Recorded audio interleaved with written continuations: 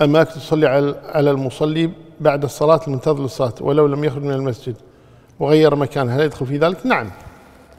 ما لم ينصرف أو يحدث. ما لم يحدث أو ينصرف فإن الملائكة تصلي عليه. نعم.